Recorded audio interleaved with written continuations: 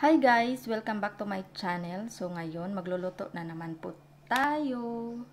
Pero this time, hindi na fried rice. Ito na siya guys. Tadan! Fish.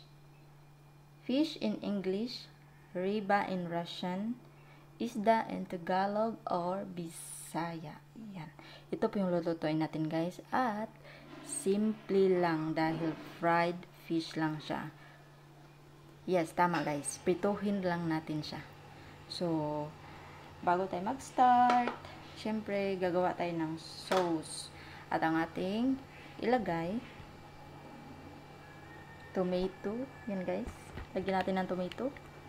Apat. At saka calamansi. At syempre, may sili yan. Yan. Pakita ko sa inyo ang sili. Wait lang. Ito siya guys. Sili. At ang ating soy sauce at suka. Pero mamaya ko na ipakita sa inyo guys. Ito muna. So, mag-start na tayo mag-prito. And then, ilipat natin. As you can see guys, bumalik na tayo sa ating dating kusina. Hindi na sa labas.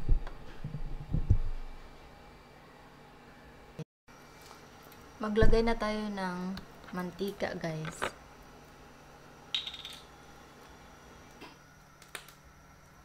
Dami-damihan natin kay syempre fried fish man to. Magprito man tag-isda. So, medyo dami-damihan ang mantika.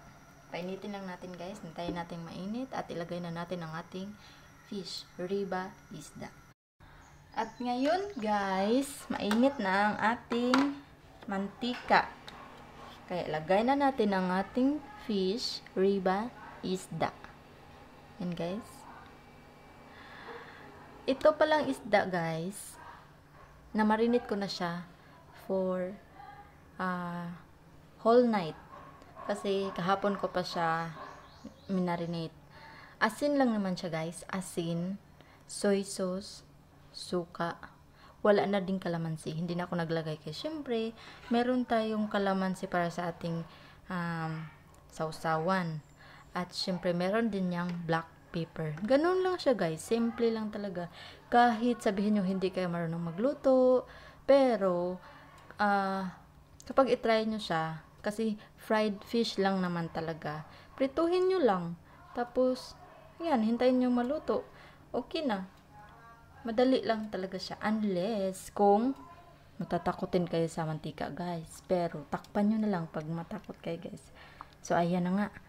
Ilagay na natin ang ating fish.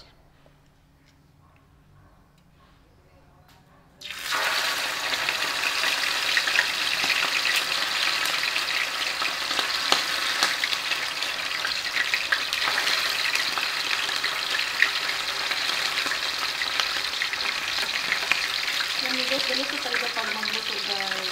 Napalsi ka lang ng pizza. Ako, ilang dishes na talaga ako na napasok. Ang gusto ng pizza guys.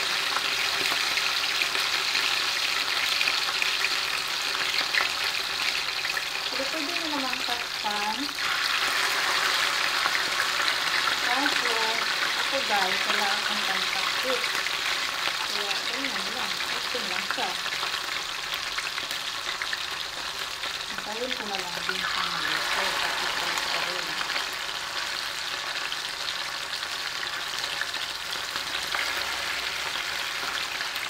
Ganyan lang talaga kasi ito guys.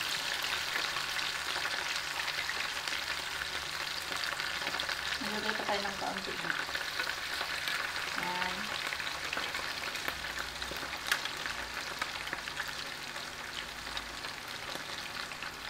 Nagluto ako ng ano guys, ng isda ngayon kasi sa tuwing magluluto ako ng fried rice, hindi na ako mag-uulam. Kasi yung ulam hindi na sa fried rice. So, parang gusto kong kumain ng fried rice at saka ng ulam. At ang gusto ko ay isda. Kasi mamaya, abangan nyo guys. Nagluluto na naman ako ng fried rice kasi sobrang nagustuhan ng aking asawa yung fried rice. Nung kahapon, wala yung ano, wala yung eggs. Gusto pala niya na may eggs. Kaya mamaya, ibalik natin yung eggs. At syempre, abangan nyo guys, ibang version na naman yung gagamitin kong pang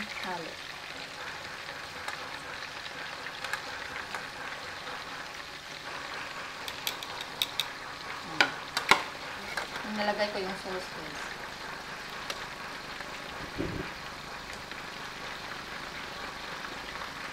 Hintay lang natin kasi meron pa tayong second batch. So, syempre, madami-dami guys kasi hindi lang naman ako yung kakain niya. At habang hinihintay natin maluto ang ating isda, gagawa na rin ako ng sausawan.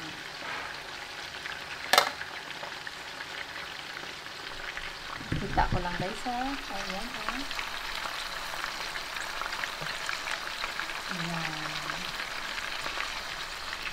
Sobrang dali lang yan guys. Prito-prito lang.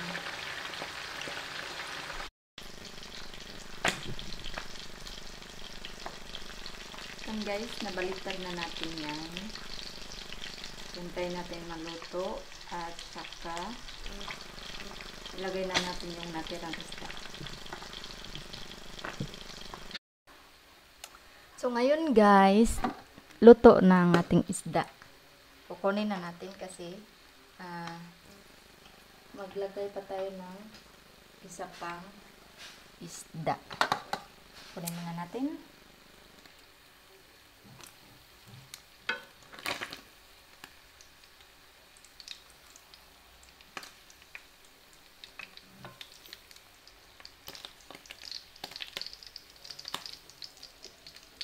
Siya guys.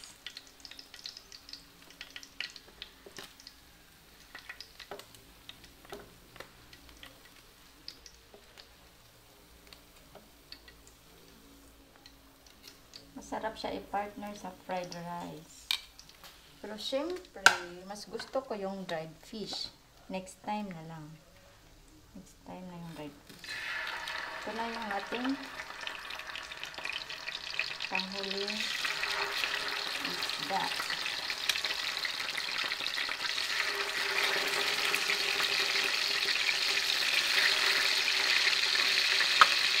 Pagkasahin na lang natin dito.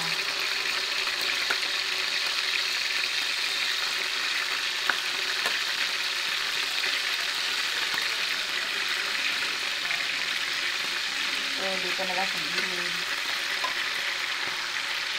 Ayan. Basta naman, Nakalagay natin ang ating stove. Okay.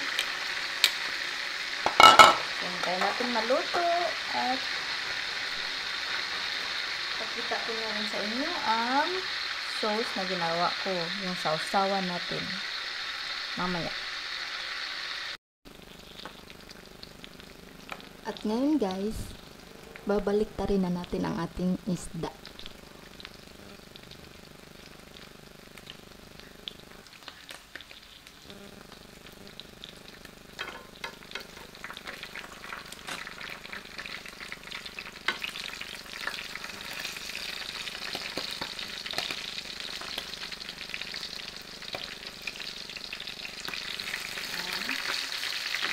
Dahan-dahan.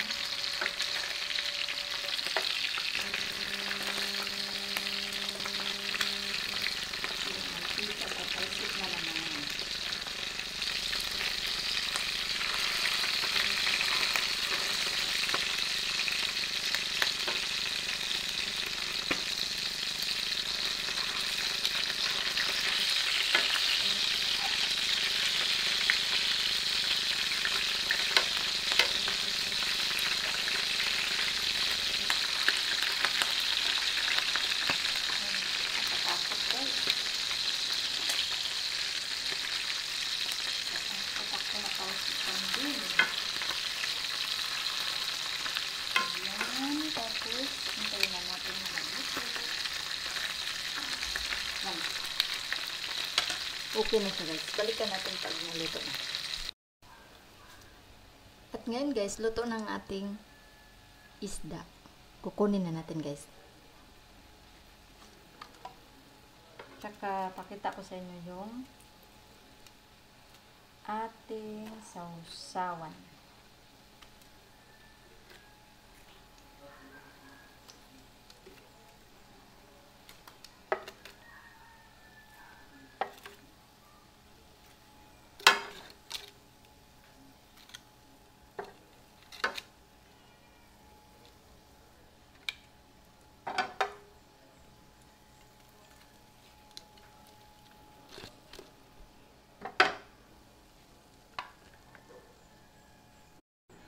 At ngayon luto na ang ating fish. Yan siya guys. Finish na tayo. Yung aking as, mga aso doon, nandun. Yan. Diyan sa likod. Si Barbie. Si Barbie. Si Barbie. Hello Barbie. Yan yung aking doggy. Si Barbie. Ano siya guys? Golden Retriever. Barbie! See, ang aking doggy na si Barbie. So, yun lang guys. Tapos na tayo magluto.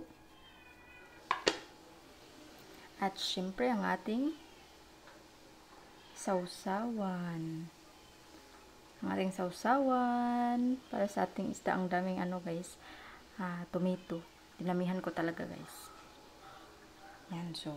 Yan lang guys. That's it for today. And then please like and subscribe. Thank you so much for watching. Bye for now. See you for my next vlog.